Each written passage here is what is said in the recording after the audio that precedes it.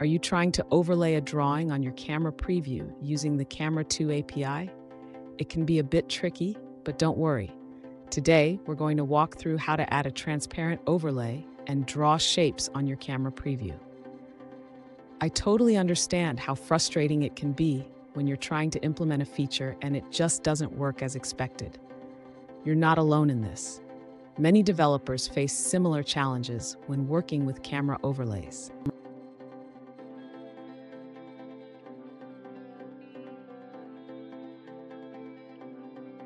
Here's the specific question we're addressing today.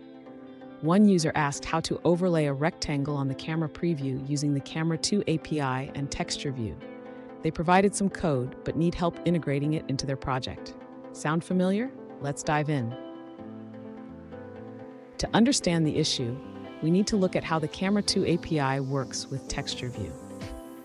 The Texture View allows us to display the camera feed, but adding overlays requires some additional steps. Let's break it down. And stick around. By the end of this video, you'll have a working overlay and a better understanding of how to manipulate the camera preview. Plus, I've got a bonus tip for you.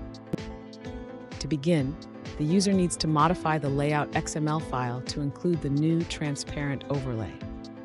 This will allow the custom view class to be displayed on top of the camera preview.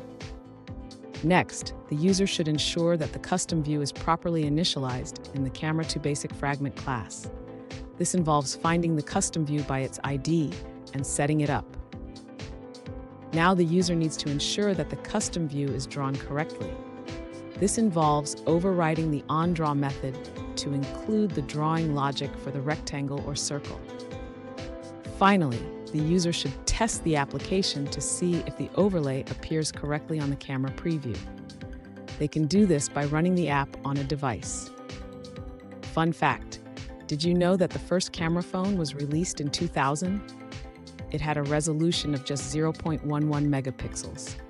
We've come a long way since then. Now let's look at the answers provided by other users.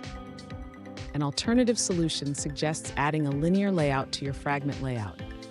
This layout will contain both the AutoFit texture view and the frame layout. Then, in the onCreateView method, inflate the layout and add the custom view to the linear layout. Here's the bonus tip. Always remember to handle touch events properly in your custom view class to ensure that your overlays respond accurately to user interactions. And there you have it. You should now be able to overlay shapes on your camera preview. Keep experimenting with your code, and don't forget to subscribe for more tips and tricks on Android development.